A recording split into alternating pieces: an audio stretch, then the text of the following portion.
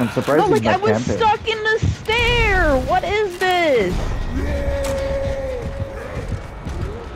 Hit the banner to like get them the fuck off.